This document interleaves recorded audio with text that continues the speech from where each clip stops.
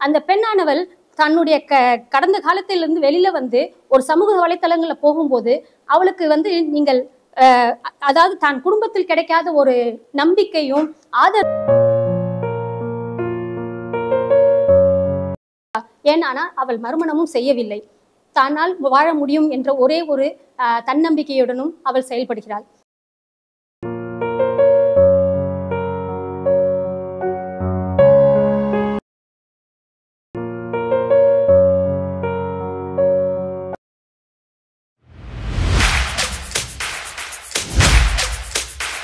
கதை செவுத்தில் அடையாது போன்றான கதைகளை இந்த எழுத்தாளர்களால மட்டும்தான் கொடுக்க முடியும். குட் டச் பேட் டச் கத்து கொடுங்கன்னு சொல்றீங்களே பெண் குழந்தைகளுக்கு ஆண் குழந்தைகள் பெற்ற பெற்றோர்கள் உங்கள் ஆண் குழந்தைகளுக்கு ஒரு பெண்ணை எப்படி பார்க்க வேண்டும் என்று கத்துக் கொடுங்கள். ஒரு பெண்ணிடம் எப்படி பேச வேண்டும் என்று கத்துக் கொடுங்கள். அதற்கு பிறகு குட் டச் பேட் டச் கத்துக் கொடுக்க வேண்டிய அதே வேளையில் உங்கள் ஆண் குழந்தைகளுக்கு குட் தாட்ஸ் என்ன பேட் தாட்ஸ் என்ன என்று கற்றுக் கொடுக்கக்கூடிய கடமை ஆண் குழந்தையை பெற்ற பெற்றோர்களுக்கு இருக்கிறது என்பதை இப்படியான கதைகள் நமக்கு நினைவூட்டி சென்றே இருக்கிறது. இப்போ அடுத்ததா இதே மாதிரி ஒரு பெண் மனதை பற்றிய ஒரு ஆழமான கதையை பகிர்வதற்காக திருமதி ராஜ்மதி அவர்கள் இங்கு நம்மோடு இருக்கிறார்கள்.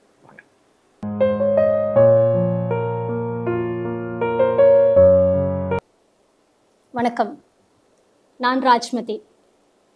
பெண்மனம் நான் இந்த கதைக்கு பெண்மனம் என்றே நான் தலைப்பு வைக்கிறேன்.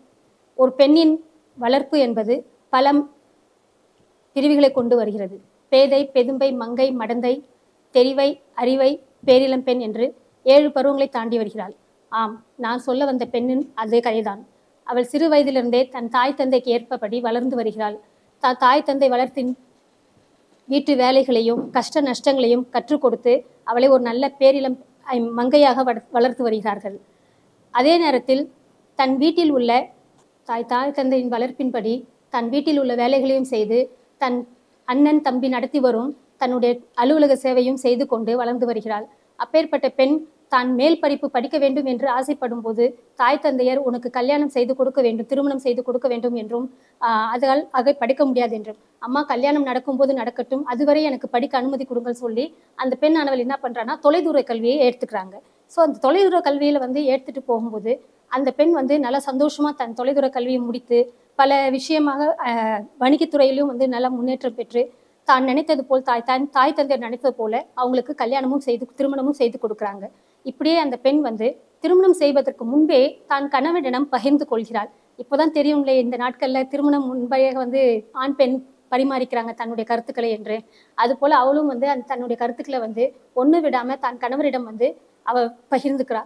என்னன்னா ஒரு ஒளிமறைவில்லாத வாழ்க்கையை தன் கணவரிடம் வாழ வேண்டும் சொல்லி நினைத்து அவள் தன் கணவரிடம் வேண்டிக் கொண்டு உங்களிடம் எது இருந்தாலும் முன்பின் எது இருந்தாலும் என்னிடம் பகிர்ந்து கொள்ளலாம். என்னுடன் இருக்கும் முன்பின் நான் பகிர்ந்து கொள்கிறேன். ஏனெனில் இதில் பிரிவு என்றும் எதுவும் வரக்கூடாது. நாம் மனம் விரும்பி இருவரும் நம் வாழ்க்கையை நடத்தி செல்வோம் என்று இதை விரும்பி அவள் இதை அவ- கவர்னரிடம் ப- பகிர்ந்து கொள்கிறாள்.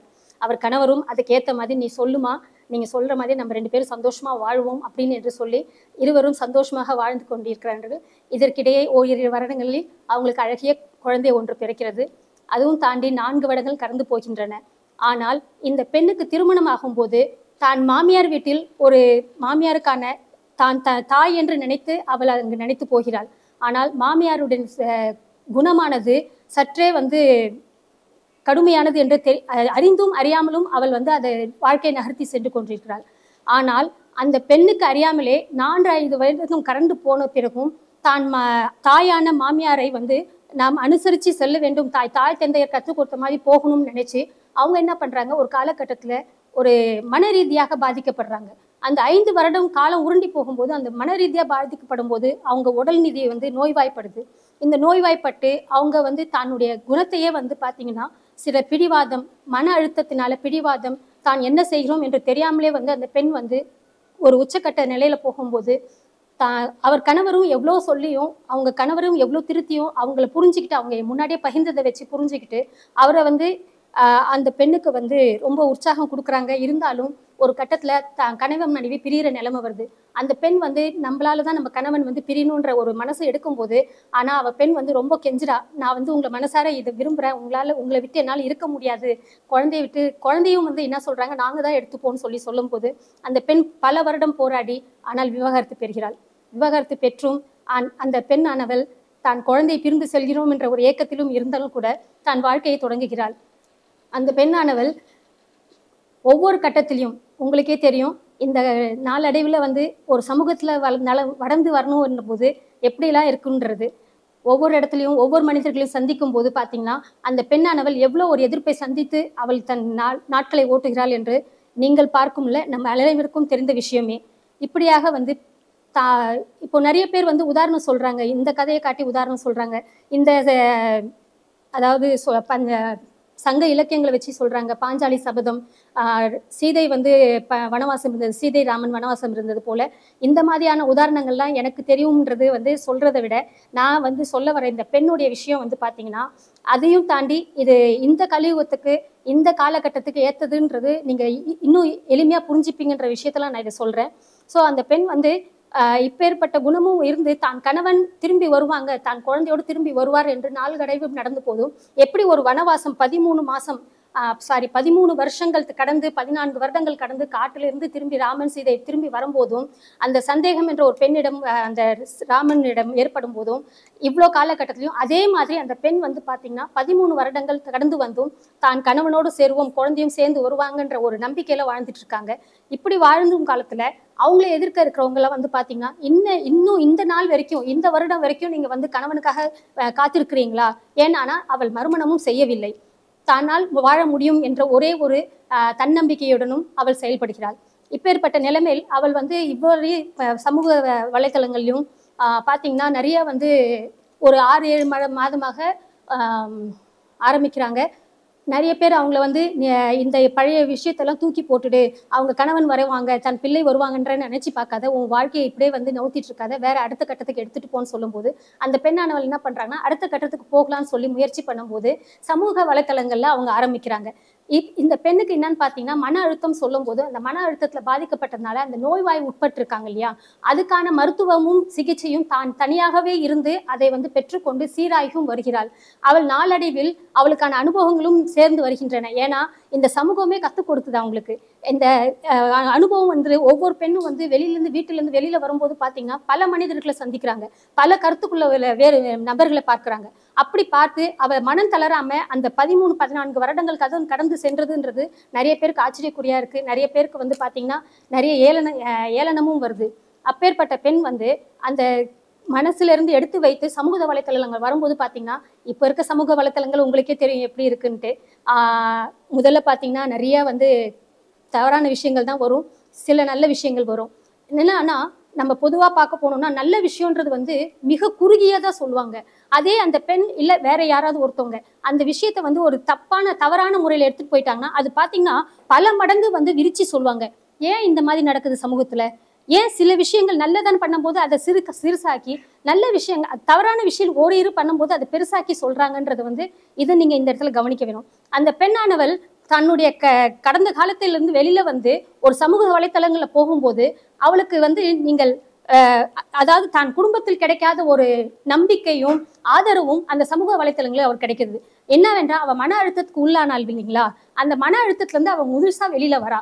தன்னை மீறி தான் தனியா இருக்கிறோன்ற ஒரு இதுல இருந்து வெளியில வந்து நம்முடன் ஏன்னா அந்த பெண் வந்து பாத்தீங்கன்னா ஆரம்ப காலகட்டத்திலிருந்தே வந்து குடும்பத்துல வந்து என்ன சொல்லுவாங்க கூட்டு குடும்பத்துல இருந்த பெண். அந்த பெண்ணானவர் இப்போ எல்லாம் சொல்றாங்க தனிமைன்னா ரொம்ப சந்தோஷமான விஷயம்னு சொல்லிட்டு. அதே நேரத்தில் சில நேரத்தில் பாருங்க சொல்லும்போது கூட்டு குடும்பத்தில் இருந்தால் தான் தெரியும் அருமைன்னு சொல்லிட்டு சொல்லுவாங்க. ஆனால் அந்த பெண் கூட்டு குடும்பத்தையும் பார்த்திருக்கிறாள் தனிமையும் பார்த்திருக்கிறாள் தனிமையும் ரசித்திருக்கிறாள் கூட்டு குடும்பத்தையும் ரசித்திருக்கிறாள். ஆனால் அந்த பெண் தனிமையாக இருக்கிறதுக்கான விஷயம் அவளால் ஏற்றுக்க முடியல. ஏன்னா அவள் கூட்டு குடும்பத்துலேருந்து வந்ததுனால அந்த ஏக்கம் பரிமாணம் அப்படின்றது அவகிட்ட கிடைக்கல. அந்த நாளடைவில் அவங்க வந்து என்ன பண்ணுறாங்க அந்த சமூக வலைத்தளங்களை போகும்போது அந்த பரிமாற்றம் அவங்களுக்கான அனுதாபங்கள் அவங்களுக்கான சொல்ற விஷயங்கள் வந்து ப- கருத்து வந்து நிறைய பேர் ஏத்துக்கிட்டு அவங்கள வந்து ஆதரிக்கிறாங்க. ஆனா அந்த பெண் அந்த இடத்துலயும் தான் தவறுகளான வரும் சமூக வலைத்தளங்களிலிருந்தும் மேற்கொண்டு தள்ளிய தள்ளிவிட்டு தான் நல்ல இடத்துக்கு செ- செல்ல வேண்டும் என்று சொல்லி முன்னோக்கி சொல்லிட்டு இருக்காங்க இப்போ இந்த க- இந்த இது வந்து பாத்தீங்கன்னா அந்த இடத்துலயும் வந்து அந்த பெண்ணுக்கான ஒரு மிருதுவான குணம் நீங்க பார்க்கலாம் ஏன்னா இந்த பெண் வந்து பாத்தீங்கன்னா கோபமும் படுவா. ஆஹ் வைராக்கியமும் இருக்கு. திமுரு பிடிச்சவங்களும் சொல்லுவாங்க. ரொம்ப அனுதாபப்படுவாங்க. ஒண்ணுமே தெரியாதுன்னு சொல்லுவாங்க அந்த பெண்ணுக்கு. அந்த மாதிரி தான் நான் இந்த ஏழு பருவங்களையும் சொல்லியிருந்தேன் பெண்ணுக்கு. அதே மாதிரி அந்த பெண்ணானவள் ஆஹ் ஒவ்வொருத்தவங்க ஒரு வைராகி இருக்குன்னு சொல்றாங்க அப்படி இருக்குன்றாங்க இல்லையா? நான் வந்து இங்க சொல்ல வந்தது ஒரு பெண்ணானது ஆழ் மனசுல தான் கணவன் தான் மகன் திரும்பி வருவான்னு சொல்லி நினைச்சு அந்த என்னதான் அவங்க எடுத்து பரிமாணத்துல இருந்து வெளியில எடுத்து வச்சாலும் அவங்க ஆழ் மனசுல அது பதிஞ்சிருக்கு. அதுதாங்க அந்த பெண் மனம் இங்கதாங்க அவங்களோட மல்லிகை பூக்கான மிருதுவான மனசு தெரிய வருது. இந்த விஷயம் வந்து பரிமாணிச்சிருக்கேன் இதுக்கான முடிவுகள் என்னன்றது காலகட்டம் தான் தெரிய வரும். இப்பேற்பட்ட பெண்ணானவள் யார் என்று கேட்டால் சற்றிலும் நான் மனம் தளராமல் சொல்வேன் அந்த பெண்ணானவள் நான் தான் இதை ஏற்றுக்கொண்டு எனக்கு நீங்கள் வந்து உறுதுணையாக இருக்க வேண்டும் என்று எதிர்பார்க்கிறேன். மேலும் உங்களை கருத்துக்களை சொல்லலாம். நன்றி வணக்கம். பெண் வந்து என்ன பண்றா? கடுமையா நடந்துக்கிறாங்க இல்லையா? தான் தன்னுடைய சுயநலத்தை அதாவது தன்னுடைய குணத்தையும் மீறி கடுமையா நடந்துக்கிறான்னா ஏன்னா அந்த அந்த மாதிரி வளர்ந்தது இல்லை அவ.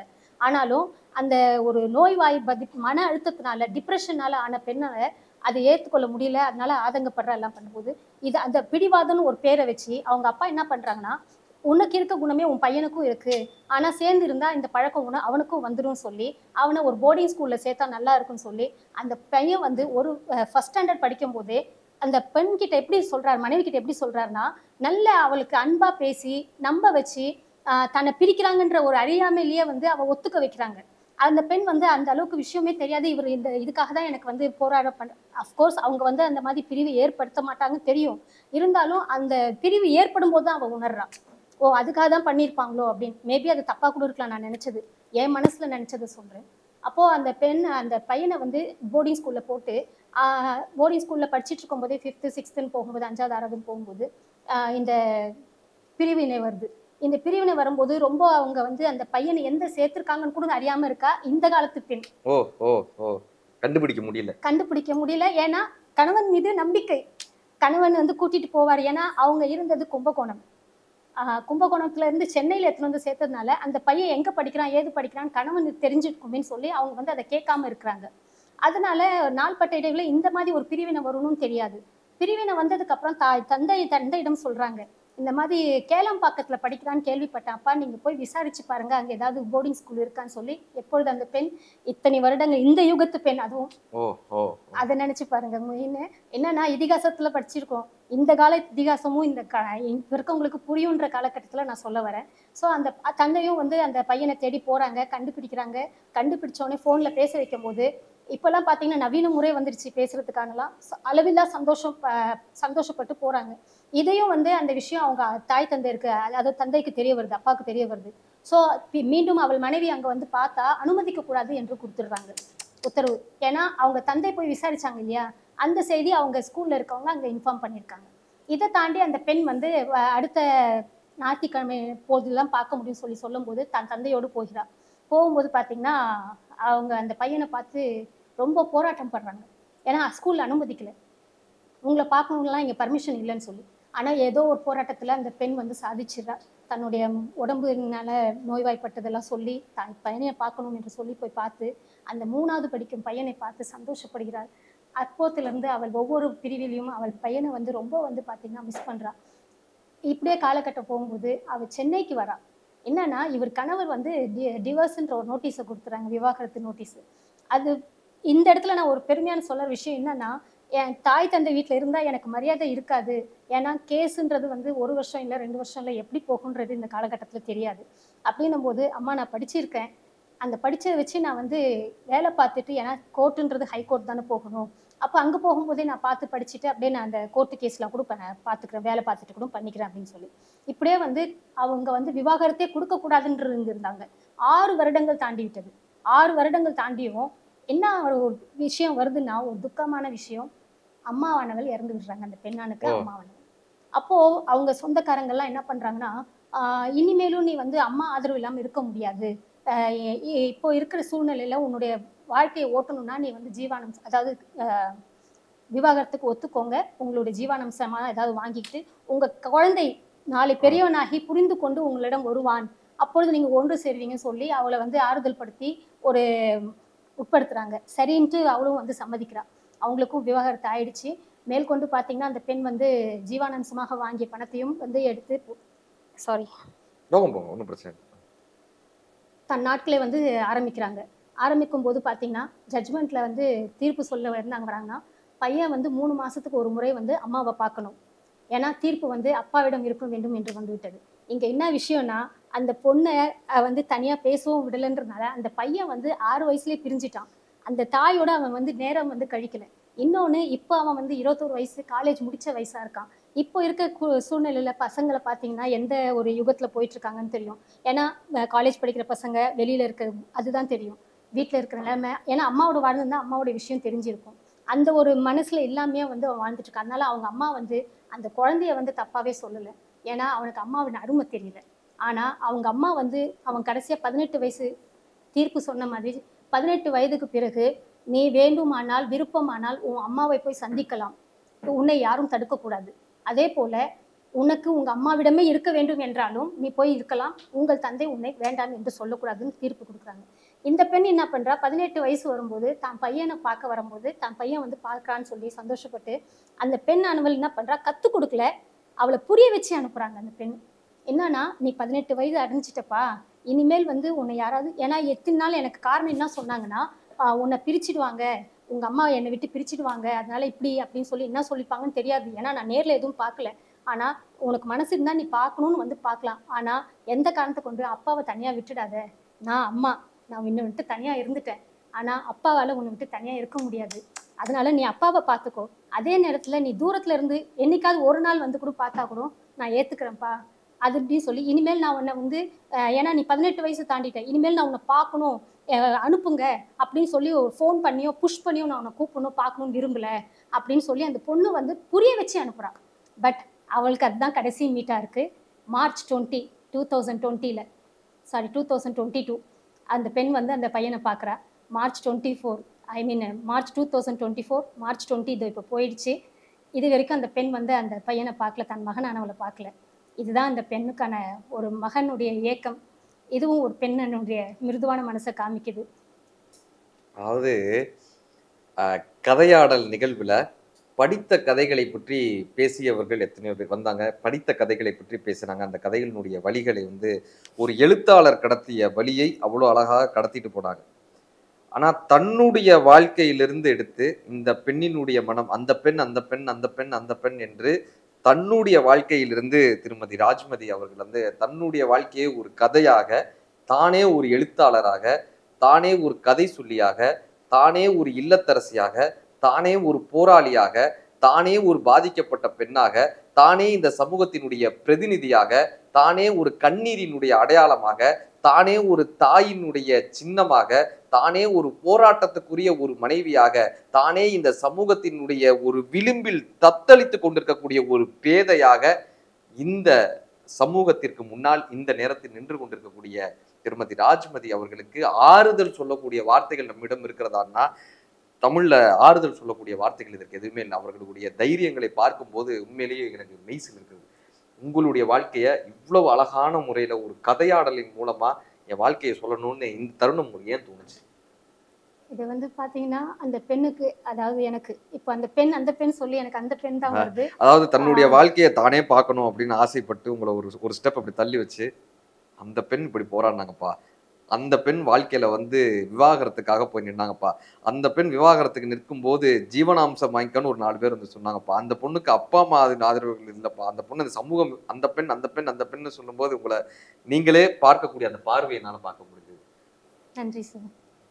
இந்த பெண் வந்து என்ன பண்றாங்க? நீங்க என்ன கொஸ்டின் கேட்டிருந்தீங்க இந்த இந்த கதையாடலை உங்களுடைய வாழ்க்கையை வந்து ஏன் நீங்க கதையாடலை சொல்லணும்னு உங்களுக்கு தோணுச்சு? இந்த பெண்ணுக்கு அதாவது எனக்கு வந்து இந்த ஜாலியான பர்சன் சொல்லுவாங்க இல்லையா? குதுகுதுப்பான பர்சன் நான். ஏன்னா சின்ன வயசுலேருந்தே அப்படி தான் வளர்த்தாங்க. வீட்டில் வந்து தனிமையாக போய் பேசணும் அப்படின்லாம் பழக்கப்படுத்தல. ஏன்னா கஷ்டம் நஷ்டம் எல்லாமே தெரிஞ்சிருக்கணும் ஒருத்தவங்களுக்குன்னு சொல்லி வீட்டில் இருக்க அனைவருக்கு முன்னாடியும் தாய் தந்தை பேசுவாங்க. அப்போ தான் அவங்களுக்கு அந்த சூழ்நிலை வரும்போது அவங்க ஏற்றுப்பாங்கன்னு சொல்லி கற்றுக் கொடுத்த ஒரே விஷயந்தான் அதை தாண்டியும் வந்து அவள் ஒரு சூட்கேஸ் ஒரு ஹேண்ட்பேக்கோடு தான் தான் அம்மா வீட்டிலேருந்து வரா. வரும்போது சென்னையில் தனியாக வந்து ஒரு இடம் எடுத்து தங்குறாங்க. ஒரு இடத்துல வேலை கிடைக்குது. அந்த வேலையை பார்த்து ஆரம்பிக்கிறேன்.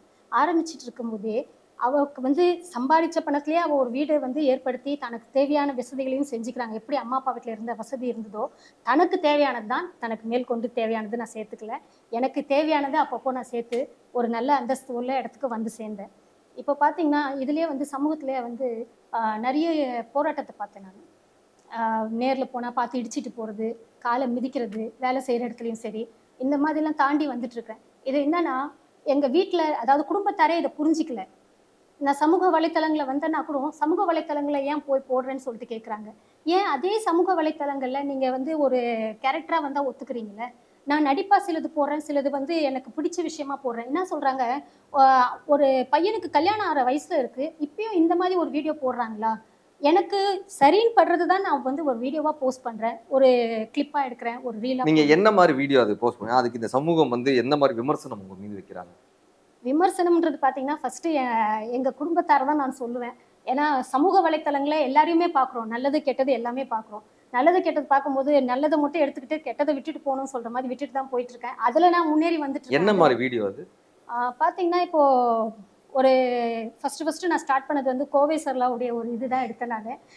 ஸ்னேஹிதனே சொல்லிட்டு வாட்டி செஞ்சு காட்டுக்கல அது அந்த ஹேர் ஸ்டைல்லாம் வந்து. அந்த மாதிரி தான் வச்சிருந்தேன். ஸோ அது வந்து பார்த்தீங்கன்னா அதுதான் அவளுக்கு ஃபஸ்ட்டு ஷாட் வந்து எடுத்தது. அதை வச்சு தான் நான் வந்து அதை பண்ணணும்னு சொல்லி ஆசைப்பட்டேன். அது வந்து நாளடைவில் பார்த்தீங்கன்னா அந்த ஒவ்வொரு கிளிப்பாக ஆரம்பிச்சு ஆரம்பிச்சு அவ. பண்ற அவளுடைய மனசுல இருந்த ஆசையெல்லாம் அதில் வெளிப்படுத்த ஆரம்பிச்சிட்டேன். அந்த வெளிப்படுத்த ஆரம்பிக்கும் போது தனக்கு பாரம் குறைஞ்ச மாதிரி இருக்கு எனக்கு. அதனால. ஆமா. இப்ப இந்த சமூகம் அதுக்கு என்ன விமர்சனம் பண்ணாங்க? சமூகத்துல தான் சமூகம்ன்றது வந்து நான் திரும்பி அதே தான் சுற்றி சுற்றி இருக்கக்கூடிய மக்கள். சுற்றி இருக்கவங்க வந்து அதாவது குடும்பத்தார் தான் விமர்சனம் இப்போதான் தெரியப்படுத்தினேன் குடும்பத்தாருக்கு. குடும்பத்தாருக்கு இப்போதான் தெரியப்படுத்தினேன் இப்போதான் ஆரம்பிச்சு இருக்கிறேன். ஆனா குடும்பத்தார் என்ன சொல்றாங்கன்னா இந்த மாதிரி தான் போடணும்னு அவசியமா? அப்படின்னு கேக்குறாங்க. இந்த நான் சொன்ன அதெல்லாம் ஒரு ஆக்டிங் மாதிரி தானே பண்றேன். என்னுடைய திறமையை தானே ஏன்னா அந்த பெண் எனக்கு வந்து நிறைய திறமை இருக்குன்னு எல்லாருக்கும் தெரியும். நான் சின்ன வயசுல இருந்தே வீட்டில் இருக்க வேலையும் பார்த்துட்டு ஆஃபீஸ் இருக்க வேலையும் பார்த்துட்டு எனக்கான படிப்பையும் நான் படிச்சு ஒரு இடத்துக்கு வந்திருக்கிறேன் போது ஒரு பத்து பதினெண்டு வருஷமா நான் தனியா இருக்கும்போது இப்போதான் அந்த ஒரு ஆர்வம் தூண்டுச்சுன்னா ஏன் மருந்து வேலை செய்யுது? மருந்தால வேலை செய்யும் போது இது எனக்கு ஒரு ஆறுதலா இருக்குன்னா இதுவும் ஒரு மருந்து தானே? மருந்து மாதிரி நினைச்சுட்டு தான் அந்த இதுல நீங்க முன்னாடி ஒரு வீடியோ போட்டீங்கல்ல. அப்ப உங்களுக்கு ஒரு விமர்சனம் வந்ததுல. ஏன்னா அப்ப உங்க கூட யாருமே இல்ல. இப்ப. நீங்க அதே மாதிரி ஒரு டைலாக் சொல்லுங்களேன். அந்த சிநேகிதனி டைலாக் சொல்லுங்களேன். ஒரு முறை அந்த கேமரா பார்த்து சொல்லுங்களேன். ஸ்நேகிதனே ஸ்நேகிதனே ரகசிய ஸ்நேகிதனே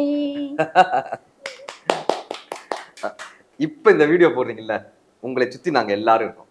உங்களை சுத்தி இந்த டீமே இருக்காங்க. உங்களுடைய திறமைகளை நீங்க என்னெல்லாம் இந்த சமூக வலைத்தளங்களை காட்டணும்னு நினைக்கிறீங்களோ அத்தனை திறமைகளை காட்டுங்க.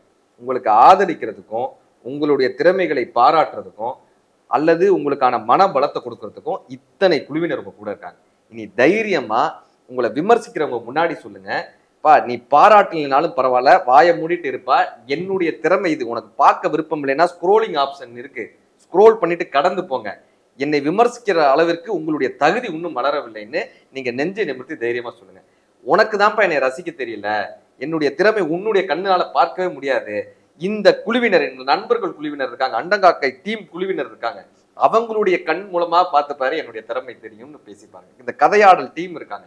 அவங்களுடைய கண் மூலமா பாருப்பா என்னுடைய திறமை என்னன்னு உங்களுக்கு தெரியும்னு இனி நீங்க தைரியமா ஒவ்வொருத்தர்கிட்டயும் போய் சொல்லணும். சரிங்களா. உங்களுடைய வீடியோவை நீங்க என்னெல்லாம் பண்ணணும்னு நினைக்கிறீங்களோ எல்லாமே பண்ணலாம். திறமைக்கு வயது என்னைக்குமே தடை கிடையாது. திறமைக்கு பாலினம் என்னைக்குமே தடை கிடையாது. திறமைக்கு எதுப்பா தடைனா சொந்தக்காரங்க மட்டும்தான் தடை. மத்தபடி எதுவுமே தடை கிடையாது. நீங்க எப்பயுமே அதை பண்ணலாம். ஒண்ணு. அது என்னன்னா அந்த சொந்தக்காரங்க கிட்ட தான் வளர்ந்து வந்தா அந்த பெண் எப்படி இருக்கான்னு தெரியும். அவளோட குணமும் தெரியும். ஏன்னா பதிமூணு வருஷமா எந்த ஒரு கேள்வியும் சொந்தக்காரத்துல இருந்து வரல. நீங்க எந்த முயற்சியை புதுசா பண்ணாலுமே அதை வீண் முயற்சின்னு வாங்க அதுல வெற்றி அடைஞ்சிட்டீங்கன்னா விடாமுயற்சின்னு.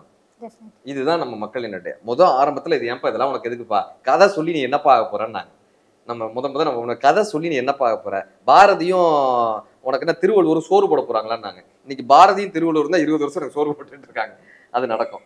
இப்ப உங்களுடைய கதையினுடைய வழிகளை உங்க வாழ்க்கையில நீங்க கடந்து வந்த வழிகளை இவ்வளவு தூரம் சொல்லிக்கிட்டே வந்தது இன்னைக்கு ரெண்டு வருடமா உங்களுடைய மகனை உங்களால பார்க்க முடியல அப்படின்னு அந்த தருணத்தையும் சொன்னீங்க. இந்த வீடியோ கண்டிப்பான முறையில் ஏதோ ஒரு வகையில் உங்களுடைய மகனினுடைய பார்வைக்கு சென்று சேரும். அதுக்கு பிரபஞ்சம் இந்த இறைவன் வழிவகுப்பார். அப்படி உங்களுடைய மகனுக்கு இந்த வார்த்தையை நான் சொல்லணும். உங்களுடைய மகனுக்கு ஏதோ ஒரு விஷயத்தை இந்த விஷயத்தை நான் சொல்லணும்னா நீங்கள் என்ன விஷயத்தை அவனுக்கு கடக்கணும்னு ஆசைப்படுறீங்க? அதை இந்த காணொளியின் மூலமாக நீங்கள் அவனுக்கு கடத்தலாம் கண்டிப்பான முறையில் அதை நம்ம நண்பர்கள் கொண்டு போய் அந்த பையனுடைய பார்வையில் கொண்டு போய் சேர்ப்பாங்க. உங்க மகனுக்கு சொல்லக்கூடிய வார்த்தை. நிச்சயமா. ஏன்னா அந்த என்னுடைய மகனும் வந்து பார்த்தீங்கன்னா கண்டிப்பாக கல்யாணம்ன்றது ஒன்று நடக்கும் அவங்க வாழ்க்கையிலையும். அவனுக்குன்னு ஒரு பொண்ணு அவங்க லைஃப்பில் வருவாங்க. ஸோ அந்த பெண்ணுடைய மனசை புரிஞ்சிக்கணும். ஏன்னா அந்த பொண்ணு வந்து அதாவது திரும்பி நான் அந்த பொண்ணுன்னு தான் சொல்ல வரேன்.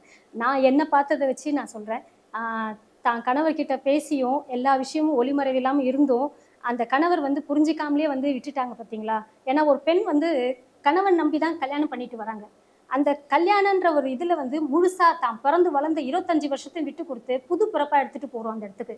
அப்போ அந்த கணவர் வந்து எந்த ஒரு காலகட்டத்திலயும் அவங்கள கை கொடுத்துருக்கலாம். நான் உண்மையா தான் சொல்றேன் கை கொடுத்தாங்க தான் ஆனா கை விட்டுருக்க கூடாது. அந்த கை விட்டது தான் வந்து அந்த பெண்ணுக்கு ரொம்ப பாதிப்பு. ஏன்னா சமூக வலைத்தளங்களை நான் குறை சொல்லவே மாட்டேன். ஏன்னா ஏத்தியும் பேசுவாங்க இறக்கியும் பேசுவாங்க. அதையெல்லாம் தாண்டி வர்றது தான் வாழ்க்கை. ஸோ சார் சொன்ன நீங்கள் சொன்ன மாதிரி வயசு வந்து ஒரு ஜஸ்ட் எ நம்பர் அதை நினச்சிட்டு தான் இன்னைக்கு அந்த பெண் வந்து நடந்து நான் வந்து நடந்து போயிட்டு இருக்கிறேன் எந்த ஒரு கீழே எத்தனை வாட்டி கீழே எழுந்தாலும் விழுந்தாலும் எழுந்து வந்து இந்த வாழ்க்கையை ஓட்டிட்டு இருக்கிறேன் அந்த பெ பையனுக்கு நான் என்ன சொல்ல விரும்புகிறேன்னா உனக்கும் ஒரு பெண் வரும்போது அவளை முழுசாக புரிஞ்சுக்கிட்டு அவள் கூட கடைசி வரைக்கும் இரு. உன்னை சார்ந்த பெண்ணுங்களுக்கு ஏதாவது நடந்தால் நீ வந்து தைரியமாக அவங்களுக்கு கை கொடு. அந்த பெண்ணுங்களை வந்து என்ன உள்ளம் படைச்சிருக்காங்க அவங்கள பற்றி புரிஞ்சுக்கிட்டு அவங்களோட அணுகுமுறை பண்ணுன்னு சொல்லுவாங்க அதாவது நாங்களாம் தன்னம்பிக்கை பெற்றாருன்னு வெளியே சொல்லிட்டு இருக்கோம் யாருனே தெரியாத ஒருவன்கிட்ட போய் தாலி கட்டிட்டு மறுநாள்ல இருந்து அவனோடு தான் நான் குடும்பம் நடத்த வேண்டும் என்று செல்லக்கூடிய அத்தனை இந்திய நாட்டு இல்லத்தரசிகளும் தன்னம்பிக்கையினுடைய உச்சமாகத்தான் பார்க்கப்படுறாங்க. அத்தனை இல்லத்தரசிகளும் தன்னம்பிக்கையினுடைய உச்சம் தான் நீங்க தன்னம்பிக்கையினுடைய மிகப்பெரிய ஒரு உச்சம். உங்களுக்கான அந்த தைரியத்தை தன்னம்பிக்கையை நீங்க கையில வச்சிருக்கக்கூடிய இந்த மிகப்பெரிய ஒரு ஆயுதமே இந்த தன்னம்பிக்கை தான் இப்போ உங்க கையில இருக்கக்கூடிய பெரிய ஆயுதம் என்ன? தன்னம்பிக்கை தான் இந்த நேரத்துல இந்த காணொளியின் மூலமா உங்க கணவருக்கு ஏதாவது ஒரு விஷயம் சொல்லணும்னா என்ன சொல்லணும்னா? கணவருக்கு சொல்லணும்னா ஒன்றும் இல்லை. இன்னும் வரைக்கும் ஆழ் மனசுல என்னதான் எவ்வளோதான் பேர் சொன்னாலும் ஏன்னா இன்னொரு விஷயம் என் கணவர் வந்து மறுமணம் செய்யல. அதையே அந்த பெண் வந்து ரொம்ப ப்ரௌடாக ஃபீல் பண்ணுறேன் நான். ஏன்னா வந்து தா தன்னுடைய மகனுக்காக அவங்க அவர் வந்து அவர் வாழ்க்கையை செலுத்திட்டு இருக்காரு மகன் தான் எல்லாம் சொல்லிட்டு. அதனால தான் அந்த பெண் வந்து அந்த அதாவது நான் சொன்ன விஷயம் என் பையனுக்கு வந்து உன் தந்தையை எப்பவுமே கைவிட்டுடாத. ஏன்னா அவங்க மறுமணமே செய்யாமல் வாழ்ந்துட்டு இருக்காங்க அதுதான் அந்த பெண் வந்து ரொம்ப சந்தோஷமா நான் நினைக்கிறேன் நான். அவர் வந்து திரும்பி வருவாருன்ற ஒரு நம்பிக்கையில் தான் இன்னமும் இருக்கேன். என்னுடைய மிருதுவான மனசு வேற யாருக்கு தெரியுதோ இல்லையோ கண்டிப்பா என் கனவு கிட்ட இருக்குது. அவருக்கும் அந்த மிருதுவான மனசு இருக்கு. அவரும் வந்து என்னை ஒரு நாள் கூட்டிட்டு போவாரு. தான் பையனோட வந்துன்னு சொல்லிட்டு எனக்கு நம்பிக்கை இருக்கு. அந்த ஒரு விஷயம் தான் அவரை சொல்ல விரும்புகிறேன் வந்துச்சு. ஏதோ ஒரு வகையில காலங்கள் நமக்கான எண்ணங்களினுடைய மேன்மைக்காக சில தருணங்களை தரும். அப்படியான ஒரு தருணம் உங்களுக்கு இந்த இந்த மேடை அமைஞ்சிருக்கும் அப்படின்றத நான் நம்புறேன். இறை இறை செயலால உங்களுடைய மனதினுடைய இந்த தூய்மையான ஒரு மனது இருக்குல்ல அந்த அந்த தூய்மையான ஒரு மனது இருக்குல்ல இதை பண்ணிடணும்ப்பா என் கடவுள் வந்து இன்னும் மறுமணம் பண்ணிக்கல அப்படின்னு சொல்லக்கூடிய அந்த அந்த ஒரு இடம் இருக்குல்ல ரொம்ப ஒரு ஆழமான இடம் இது கண்டிப்பான முறையில் இந்த பிரபஞ்சம் உங்களுடைய குடும்பத்தை உங்களிடம் மீண்டும் அழைத்து வரணும். அப்படின்னு நான் இந்த நேரத்தில் இறைவன்கிட்ட ஏதோ ஒரு வகையில் நடந்து நான் இறைவன்கிட்ட வேண்டிக்கணும். இந்த நேரத்தில் அப்படின்னு தான் தோணுது. கண்டிப்பான முறையில் இந்த காலம் அடுத்து வரக்கூடிய அழகான காலங்கள் எப்பயுமே கோடை காலம் முடிஞ்சு ஒரு வசந்த காலம் வரும் இலையுதிர் காலம் வரும். இப்படியான வாழ்க்கை சில காலங்களை வந்து நமக்கு மாற்றி மாற்றி தந்துக்கிட்டே இருப்போம் இந்த பருவநிலை மாறணும். நீங்கள் அடுத்து வரக்கூடிய இந்த கதையாடல் நிகழ்விலேயே வேறு ஒரு கதை சொல்லும்போது மகிழ்ச்சியான கதையாக உங்கள் வாழ்க்கையே மகிழ்ச்சியா மாறி அந்த மகிழ்ச்சியான கதையை எங்களோட வந்து பகிர்ந்துக்கணும் அப்படின்றதான் எங்களுடைய ஒரு ஆக சிறந்த ஆசையும் கூட. அதுக்கான தருணத்தை இறைவன் உங்களுக்கு வழங்கணும். கூடிய விரைவில் உங்கள் மகன் இந்த காணொலியை சந்திச்சு பார்த்துட்டு உங்களை வந்து சந்திக்கணும்னு நாங்கள் ரொம்ப ரொம்ப ஆசைப்படுறோம். இந்த காணொலி உங்களுடைய மகன் மட்டுமல்ல உங்களுடைய கணவனையும் உங்ககிட்ட அழைச்சிட்டு வரும். உங்களுடைய சொந்தங்கள் உங்களை புரிஞ்சுப்பாங்க. கண்டிப்பான முறையில் புரிஞ்சுப்பாங்க. அப்படி புரிந்து கொள்ளக்கூடிய சொந்தங்களாகவும் நாங்கள் நிறையா பேர் இருக்கோம். அப்படி புரிந்து கொள்ளக்கூடிய சொந்தங்களாகவே இங்க நிறைய சொந்தங்கள் இருக்காங்க. வாழ்க்கை அழகான தருணங்களையும் அழகான மனிதர்களையும் அழகான அன்பான உள்ளங்களையும் எப்பயுமே ஒழித்து வைத்திருக்கிறது. அப்படியான பயணிகள் உங்களோடு பயணிக்கணும்னு நாங்கள் இந்த நேரத்தில் இறைவட்டு வேண்டிக்கிறோம். இப்படி உங்களுடைய வாழ்க்கையே ஒரு அழகான கதையாக ஒரு கதையாக இங்க வந்து எங்களோடு பகிர்ந்தமைக்கு ஒரு பெரிய ஒரு நெகிழ்ச்சியான ஒரு தருணமாக இந்த தருணத்தை மாற்றி அமைச்சிங்க. நன்றிங்க. ரொம்ப ரொம்ப நன்றி நன்றி ரொம்ப நன்றி. இறைவன் உங்களுடைய குடும்பத்தை இணைக்க வேண்டும்ன்றத இந்த கதையாடல் குழுமத்தின் சார்பாக இறைவன் வேண்டி